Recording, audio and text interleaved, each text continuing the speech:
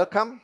I have today with me Dr. Hans Kluge, uh, the Regional Director of the WHO in Europe, and Professor Patrizia Burra, the Chair of the um, Public Affairs Committee from UEG. Hans, we heard you during the plenary session, and I would like to discuss with you some burning issues which maybe we both feel to be addressed. And I very much like the quote you gave during your uh, panel presentation from your father, who was a practitioner, um, that the intestine is the soul of the human being. Right. And I like this a lot because what I learned from my mentor is um, he always told me in the gut you have more neurons than you have in the brain. Yeah. So if people have some stress, are sick with any other things, it reflects on the abdomen. So that is something uh, which I think uh, is, is important to, um, to realize. Now, we heard you speak about the hospitals in crisis today during the panel uh, discussion. And we are facing many problems here today with and after the COVID pandemic, the growing inequalities, and you said the physician must the, be the guardian of equality, which I also like a lot, this quote of yours. And I would very much like to elaborate on the problems you see the key priorities really uh, that we need to address to ensure the well-coordinated and highly quality of healthcare for all European citizens. Actually, Professor, if I look back one year ago, I would say that we felt there was a feeling of exhaustion, but also very hopeful that with the COVID-19 pandemic largely behind us, the health systems would be resilient. For me, resilience means to bounce back stronger from a crisis. Unfortunately, it hasn't happened. No. And I see three main reasons. The first one, which we also discussed this morning, Professor Marcel was speaking about this, is the health and care workforce crisis. One year ago, I called it a ticking time bomb, but since then it had become quite dramatic. And it's a bit of a paradox, because never in history we had so many doctors and nurses in our region, but we are short of about 1.8 million in the European region alone, 18 million globally. And of course, it's linked with the bigger picture of demographic aging. Yes. We have a population which has more and more comorbidities and more needs and expectations. And then there is a labor force shortage across all sectors. So this is one. The second one is the crisis of the medicines. I remember very well, couple of months ago, UK, France had shortage of essential antibiotics, of paracetamol, because they're not produced anymore in our region. At the same time, there is the rising cost of the, what we call novel, the innovative medicines. And the third one is almost amazing. Minister after minister of health is telling me that despite of the fact that 7 million people died of the COVID-19, it's very tough for them to keep the same level of investment in health systems. So these are three very important crisis moments, which for me actually means they all bleed into each other. And it means that this artificial division we used to make between non-communicable, communicable disease, environmental health, personal health, in fact, fade away. We almost can tragically predict who will die first when the next crisis comes around, based on the experience of the last four years. Three groups. Number one, the people with the lowest health reserves, the youngest and the oldest. Number two, the people with the least access to power and resource in society. And the third one, the people with pre-existing chronic conditions. In Italy, from all the patients who died in the hospitals COVID-19, two-thirds had hypertension, one-third had diabetes type 2. Yeah. This is very, very uh, sad and very, very serious. Patrizia, would you like to elaborate on this and tell something more about your thoughts on that? Uh, yes, I think uh, uh Dr. Kluge reminded me the, what was said today during the opening about the hospital crisis. And actually, it's been, uh, let's say, two, three years that I'm quite worried about what is happening with the young medical doctors. I think in, in, in medicine, when they are medical students are still enthusiastic about doing medicine, when they qualify, they have to choose uh, the discipline, they have to choose which uh, school of specialization they have to feel affiliated, that um, they feel unsure. Uh, we have seen, at least in Italy, my country, that uh, since uh, at least two years, there are less attendance regarding emergency medicine, intensive care anesthesia, in some part, some university also surgery. Uh, so I, we worried about gastroenterology and the, the common uh, link of those uh, specialties that are very demanding. So I think, first of all, uh, they don't want to, to, work as much as we used to work in when we, we were in a, in, a, specialization school. surely, I don't want to take the COVID as an excuse, but surely something happened with the COVID in terms of also psychologically. And uh, uh, some of them complain because in Europe we have different salaries if you compare one country to the other country, which is uh, unacceptable. So I think it's just a combination of few factors. But let's say that I, I feel I'm also in my position at university, I'm vice rector for the, for the post-laureate training. And I'm really worried about this changing in, in, in the mm. attitudes and, and probably is something that is, uh, uh, is changing in our society. Mm. Yes, absolutely. It is a worrying fact. I always try to see whether the glass is half empty or half yeah. full. But you're absolutely uh, right. I, I, was mentioning about uh, the crisis. Actually, in April, we organized a meeting with all 53 member states in the region, European region, in Bucharest, on the future of the health and care workforce. Yeah, right. Usually, if we invite 50 countries, we have about 30, 32. We had all of them. So it's the Very number impressive. one preoccupation. And we came out with three main concerns by the countries. Number one is the working conditions. Yes. Number two is, as you're mentioning, is the mental health and well-being. Our surveys show that 40%, for example, of the nurses have some signs yeah, yeah, of yeah, burnout. Actually, my own staff with the survey, 30%. And 60% of my staff faces unsustainable work burden, which is the same in the hospitals or also in the primary healthcare. And then the third one is the difficulty. How do you provide hospital care in rural areas where it's difficult to have a referral system to what we called secondary hospitals? Mm -hmm. So everything starts, I would say, with a good forecasting and planning countries who have numerus clausus? Is it something that needs to be foreseen?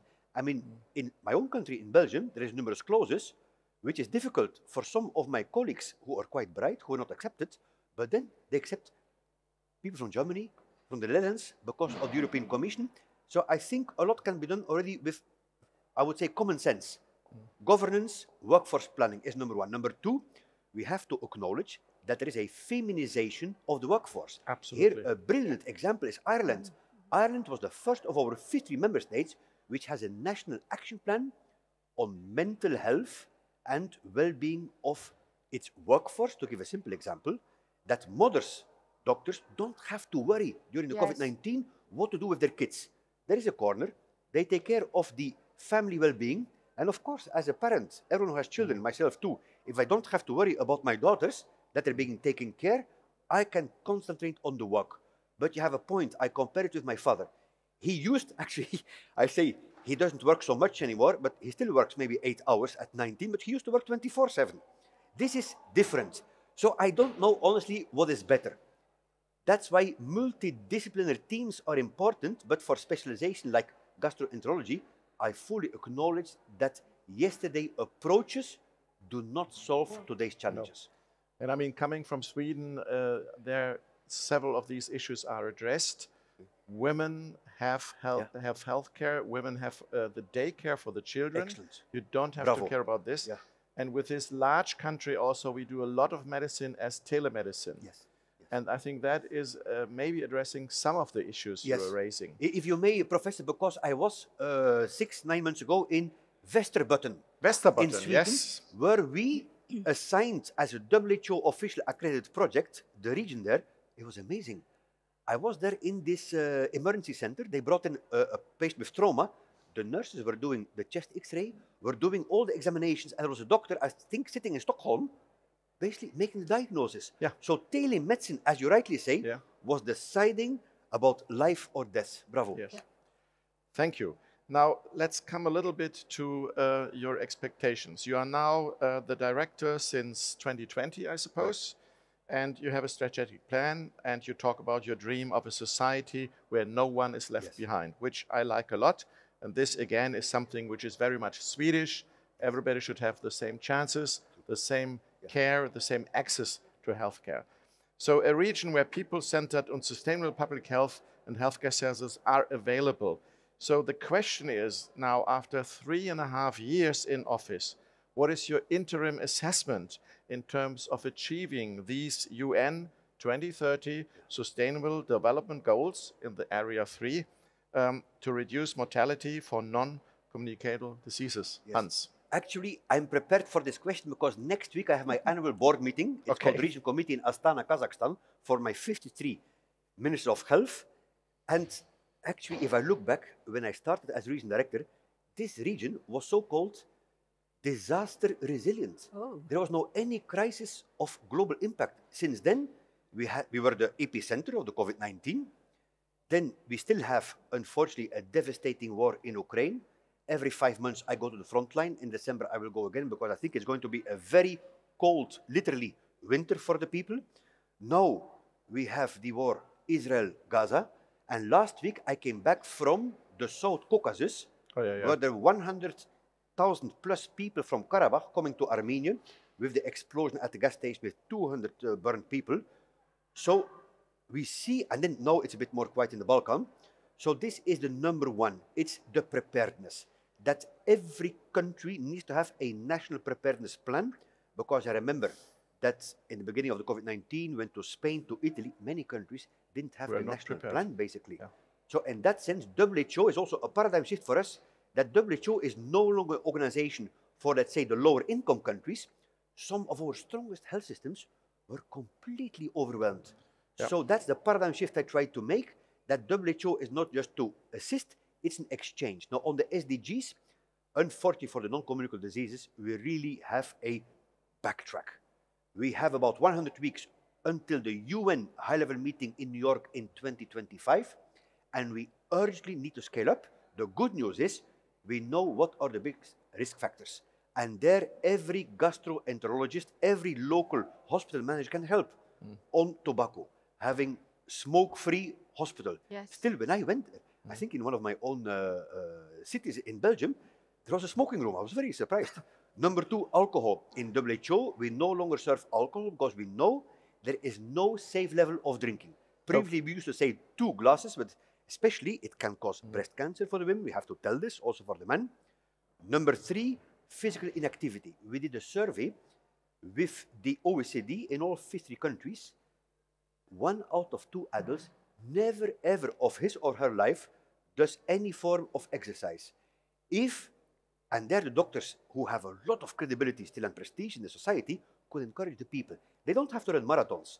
80 minutes a day could save 10,000 premature deaths a year and 8 billion euro in the 27 EU countries. And then the other one, which concerns me a lot, for the first time in 25 years, in our richest countries in the region, we have children going to bed with a hungry stomach. So there, everyone can help on government procurement mechanism for a healthy, nutritional diet for our children. Hmm. So it's all doable. The good thing is we, we know what needs to be done, but we need leadership. Yes. We need leadership, really. Apparently, you are providing this, at least for Europe, I suppose. Yes, but I need all your support Yes. because I say we have a deficit of trust in society, and. I see this. One of the last population groups that people trust are the doctors. That's true. But uh, let's look a little bit more for uh, the gastroenterology. I mean, our overarching team is digestive health. Yes. And if you could maybe have uh, some few thoughts more on what is the non-communicable disease part, where you think uh, what are the goals there for Yes. uh, your um, uh, European, you know, uh, part of the WHO maybe. I think straight away would be that any local initiative to be tailored and building up to the global SDG targets. Okay. So, what's important is not only to provide the clinical service, but to have, from a public health point of view, do a analysis. What is the incidence prevalence of gastrointestinal disease in the community? What are the risk factors? What are the risk behaviors? And then, what are the outcomes? Because it are those local initiatives which ultimately hmm. build up to the SDG initiatives, and we can do it on tobacco, on alcohol abuse, on physical inactivity, on visitors. diet. Very, very concrete. Number two is for the local managers to link with the social services. Because what we see is that there was a brilliant presentation uh, this morning. I liked it a lot. But this is for the patients who arrive in the hospital. Even in Belgium, our Deputy Prime Minister, Minister of Health, Frank Vandenbroucke, had to free 5.5 million euro for people up to 24 years who are financially vulnerable. So there's unmet need. People who don't come to the gastrointestinal doctor. So we need to link between the clinical service and what's happening in the local community Yeah. and the local society. Yeah. That, that's very, very interesting. Um, let's dive a little bit deeper, deeper into the challenges posed by the socioeconomic um, problems and lifestyle factors which you just mentioned, uh, and particularly in the context of the increasing burden of GI diseases, digestive health, in Europe. And we are talking about evidence and you doing your investigations.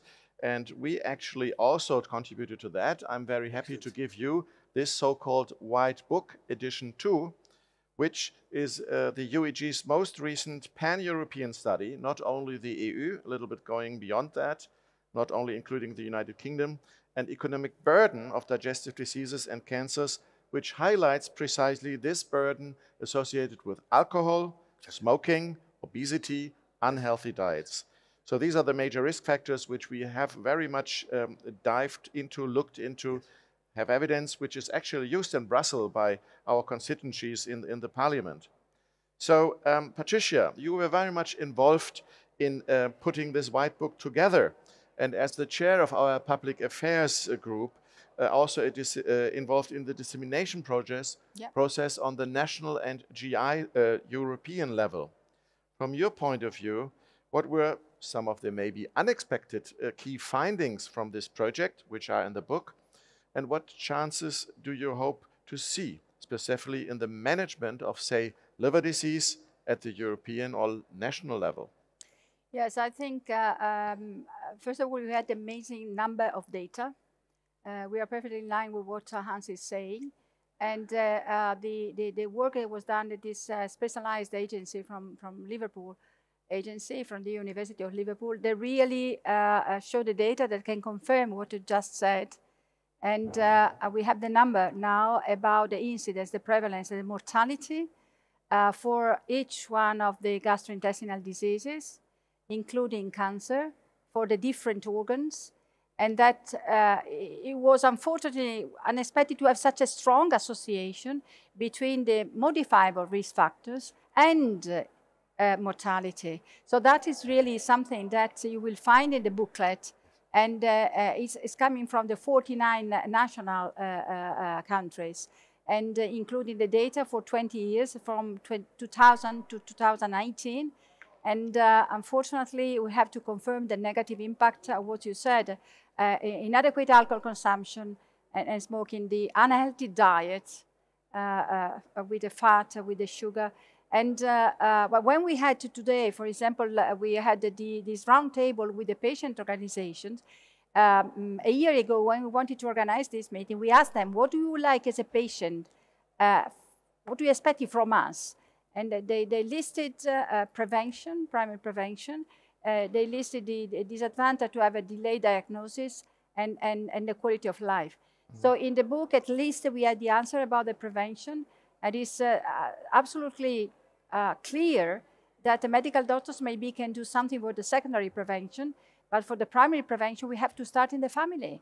So the family with the parents have to teach the children, then they go to school, the teachers have to, to, to, to teach the, the, the, the, the, students, and, and then maybe we'll be in a university, and then after university, we can pay our, our part. But surely uh, we need uh, uh, a stra- strategy at the national level, the local level, to, to, to improve the prevention about these risk factors. It's not really the, the knowledge. Uh, today, the, the, the junior, the adolescent, they use the, the social media, they know everything. Education is different from the knowledge. So they are not educated. That's why they don't understand why drinking or eating or smoking that way, they can cause cancer maybe in, in, in, in 20, 30 years Yeah. of their life. Yeah. And, and the final things that I wanted to underline for, for, for, for Hans is that what came out from the White Book is that there is, a, let's say, an economic benefit in reducing Yes. the burden Yes. of, of GI diseases. So I think this is a strong message. Yeah. Yes, I have to congratulate you. I mean, it's excellent uh, work, really, and I endorse everything you say. Maybe some points is that our regional office was the first one, WHO globally, establishing a behavioral and culture insight unit. Exactly as you say. We have a region where people are quite health literate. Yeah. They know what is unhealthy, but they still take the unhealthy choice. So we need anthropologists, sociologists to understand what's in the head of the people, and then we can design together with them to co-create the right strategies, mm. not just to tell, but understand. Just like we used those insights with the anti-vaccination Yes. movement, and as you say, to start in the schools. When I asked the Minister of Health in Portugal, what was their success with the highest vaccination uh, coverage rate almost in the region, they were telling exactly as you mentioned, uh, Professor, the children are being taught in the primary school. Yes. So for them, it's a given. There is no It's doubt it's natural part thing. of healthy life of society. So we Yeah. have to start much earlier. Yes, much earlier. The White Book, uh, the Patrizia, is not only a research tool, but also a very nice advocacy, advocacy Yes. tool. Absolutely. And I think maybe you could relate to us what you have done with that in Brussels. Yes, exactly. Um, we, we had the opportunity to organize on behalf of UEG an event in Brussels on the 26th of April. It was very well attended, and we had, uh, let's say, the scientific part of the meeting was uh, dedicated to report the summary of the White Book, and we discussed about uh, the chronic intestinal uh, uh, diseases, about the pancreatic disease, Yes. about liver disease, and then uh, we had a, a part uh, entire dedicated to the to cancers and uh, we had uh, attending all the uh, uh, representation from the patient association. Excellent. and, and then uh, in, late in the afternoon uh, we had the plan to, to meet six meps all six accepted to, to talk to us. We had very nice conversation. I thought they were very well prepared. So and they understood what we are talking about um, I think there is an improvement uh, at, uh, at the level of EU Parliament in terms of uh, Yeah. also understanding, understanding what we are saying compared to my previous experience. It was, I think, with you 12 years ago. So I think that is very important. has improved. That is very important. It Bravo. was very And- positive experience. And one of your colleagues, uh, Dr. Kremlin Wickramasinghe, Yes. was part of this uh, uh, initiative and was also, uh, you know, part of this um, visit of the UEG. Now, picking up on, on, on the next point, on the last point with the European Parliament, um, we will have elections next year in the European Parliament, and we'll see a new European Commission, maybe even a new um, president, so to say. We all know that that is a very important election because of the polarization in politics in Europe, not only to say with the far right parties, which, which you have rising in the polls. So, my question to you, Hans, is considering the multiple crises which we already have touched upon, we are facing in Europe today the war, inflation, healthcare shortage, you name it, climate. Yes. We have talked about climate. What are your biggest concerns and hope looking into the future now for Europe?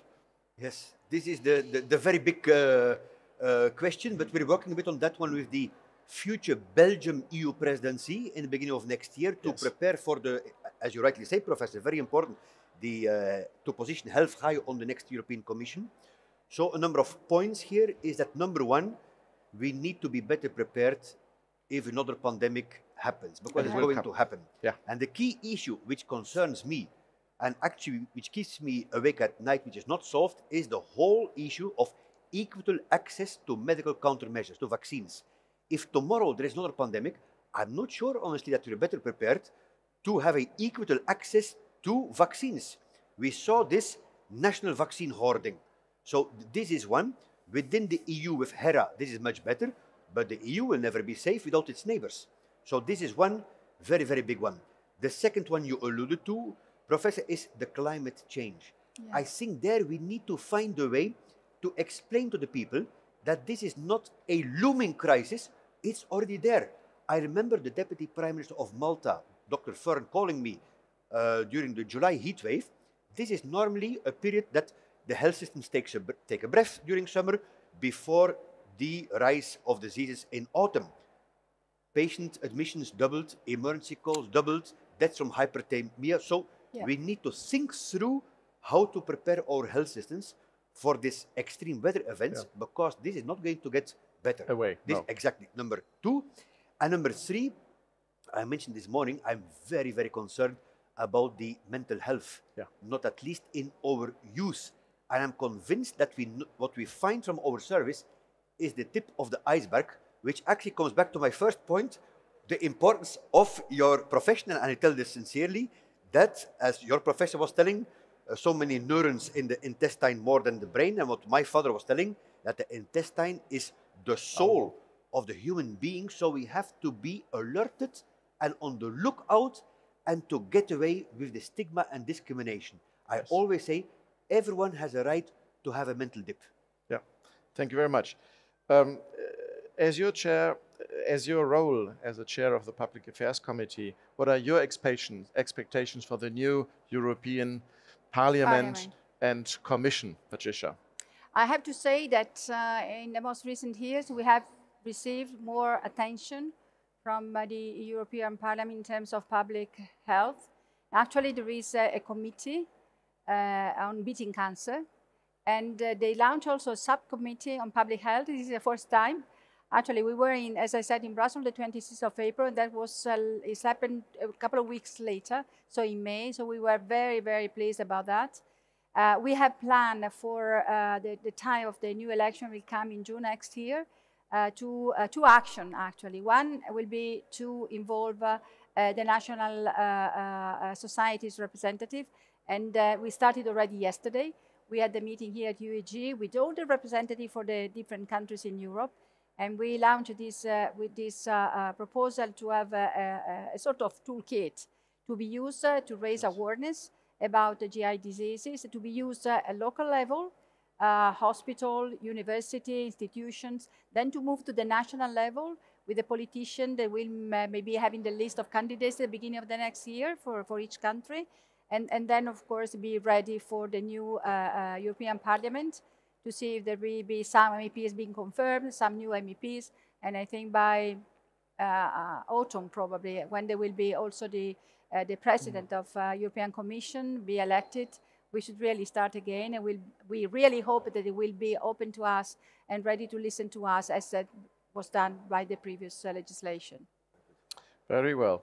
And I think we as UEG are very well suited to, you know, address these things, which if I just sum up now what we have talked about is maybe starting at the at the end with the mental health having implications for the abdomen, for our diseases, then what we call digestive health, Yes. which implies you know, um, working against um, alcohol, against tobacco abuse, working against obesity, working, as you just said, for the equality. We must be the guardians of our patients to ensure the equality of healthcare, reach out in the rural areas, Correct. which some countries are doing.